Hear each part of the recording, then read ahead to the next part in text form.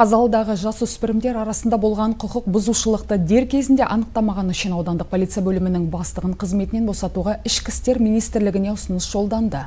Сондай-ақ полиция бөлімінің 10 қызметкері қатаң тәртіптік жазаға тартылды. Ал аудан әкімі Мұхтар Оразбаев бастаған топ білім ошақтарын аралап, ата-аналар мен оқушыларға түсіндірме жұмыстарын жүргізуде. Бала тәрбиесі бүгінгі қоғамдағы ең өзекті мәселенің бірі. Әрбір ата-ана ұл қызының кіммен араласып, немен айналысып жүргенін біліп отыру керек. Жиында сөз алған аудан прокуроры Қазалыда болған оқиғаға қатысы бар оқушылар мен ата-аналардың да жауапкершілігі қаралатындығын жеткізді.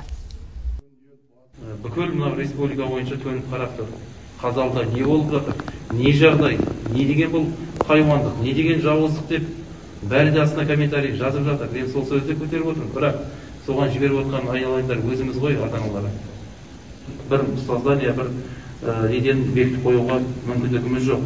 Бірақ мектептегі тәрбиені әрине ұстаздар әр баланың мынау психологиялық жағдайы әр баланың өзінің ауытқуы болса әр баланың өзінің бір кішкене осындай тентектік жағы болса оны қадағалап бақылап отыру керек сол үшін де біз кінәлі мектептің директоры орынбасары сұрап жатқанымыз сол.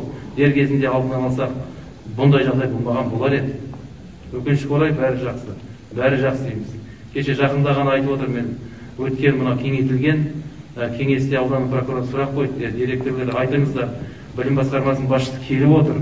Сұрақ бар ма дегенде қараңдар әлде де айтыңдар деді. Осы мәселе ескерусіз қалып жатыр. Нәтижесінде осыған келіп тірелді